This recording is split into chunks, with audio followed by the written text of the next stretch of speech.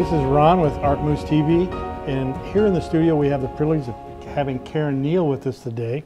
When she's not out selling homes, she's doing art, and I think she needs to spend a lot more time on the art because she has some amazing pieces to show us today. Well, thank you for that. So how's it going? Great. Now that I'm on Art Moose. Hey, what's great about it is your art has a tendency, you do everything. You do wildlife, you do still lifes, you do everything in seascapes, and that's what I love about it. Plus you do oils, acrylics, watercolors. So you're dabbling in everything all the time. It's fun. And it should be. That's what it, art's all about is having fun. Let's take a look at some of these pieces you brought in today. This one here is your seascapes. Well, a lot of them I do, paintings that I do, uh, come a lot from my imagination and memories. And I grew up on the Jersey Shore, so the beaches looked like this. But I thought, well, we need a little bit more than water, so I put a little California in it. This is my uh, cousin's granddaughter. She was in Maryland, and I liked the, what she was doing in the water, so I put a little bit of California in the background and just used her figure in the in the painting. You like to you like to be right on the border impressionistic on a lot yes. of your stuff. I started out doing uh, master style, old masters, and uh, I really wanted to do impressionism. So here we are in Laguna, and uh, there we are in Crystal Cove.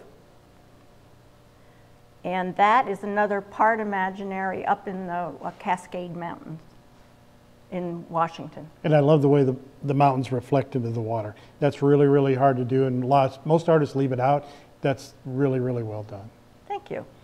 This is a more impressionistic one. This is a small five by seven, and that's another imaginary scene. But it's, it's really cool because of the way you've mixed the colors, and I love the impressionistic on this. These, this just about borderlines abstract, and I noticed you put four-leaf clovers on your signature. Yes. Is that for something special? Well, the smaller paintings, I don't like to take up space with my uh, K-Ren, R-E-N, which is my husband's initials is R-E-N, and I just left the A out, so that was my new signature. Ah. Ha, so the smaller paintings, I used a four-leaf clover, and that's Juno in uh, Florida, uh, the Juno Lighthouse, and another sort of something that I had seen up in the mountains, and I do a lot from just memory and then create. That is a farmhouse with a pond.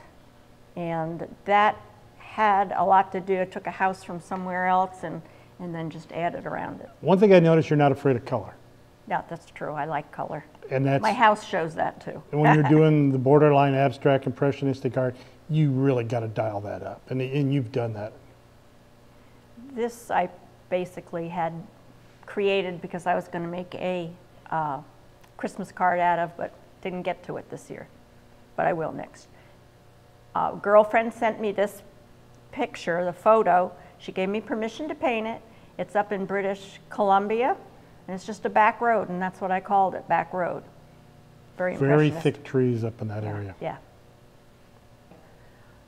I did this at uh, the packing house in Anaheim as uh, a demonstration, and it was Thanksgiving time, so this was pilgrims to me, the newer, newer pilgrim coming into Orange County and walking down the lane to their new home. Another desert scene that I had done for, actually, for a friend of mine. Golf course that was imaginary. And then this is where you went southpaw. This is when I tr- had the shoulder surgery, so I gave it a try and painted with my left hand. It's really, really nice. I was happy with it. Just a Christmas picture to give to a friend of mine. And we have to have some wine. Oh, yes, some wine, and I thought it would be nice that sitting in the window, and then you can go outside and have your wine on the patio. And my son-in-law, my dear son-in-law, has been to every single In-N-Out burger in the States, and uh, I painted one for him for Christmas. I bet you that thing's hanging with pride. Oh, he has, he, he was really excited, he put it on Facebook. my daughter loves sushi, so this was her Christmas present, one of them. And we love Dungeness crab from up north, And so I painted one as a still life. Another just a flower scene that's on its way to a friend who is very ill right now, so that should be better than real flowers. That is uh, flowers that I did. I called it Mother's Day, and uh, it was actually sold. It hung at the uh, uh, Orange County Fair. From my backyard, I took this flower inside. This is an advice to any other artist out there that wants to bring a flower in. Look at it before you bring it in. There were 900 million ants in that red center. So you brought in the neighborhood. yes, I did, and it was very frustrating. This piece here, I'm totally in love with. Those are bird eaters, uh, bee eaters, excuse me. They're not carnivorous. They eat bees. And uh, that's an acrylic. And I had fun doing that. I love birds, as you can see. There's my from my backyard. Actually, not exactly from my backyard, but uh, that's a goldfinch.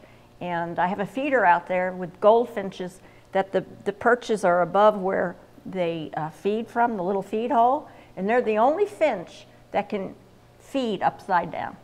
So you, when they hang up, and that's my little Harley. It's a watercolor. I've been dabbling in watercolor and I love it. There he is again, dreaming. And that's Miss Kitty. I did that for uh, a, a mother of one of my uh, friends. And actually, that was a commission uh, painting. And I've just started in watercolor and, and I'm really loving it. It's a lot of fun. I can see it, especially in the eyes on this piece. Yeah, he has pretty eyes. And Mr. Seal was in the Victoria, uh, in British Columbia, in a Victorian, Victorian, Victor, Victoria City Harbor, and he was begging.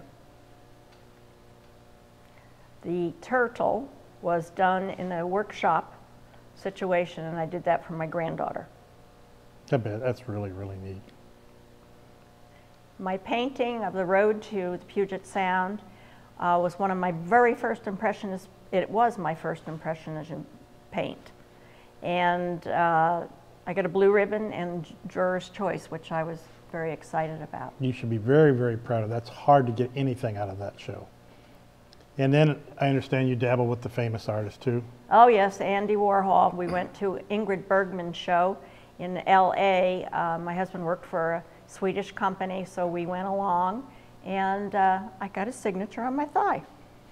Not everybody can say that. No, but I got it on paper too. It's been great having you in here. I've really enjoyed all your different art and your different techniques, and I can't wait to see some more of it. Thank you. You're very easy to talk to.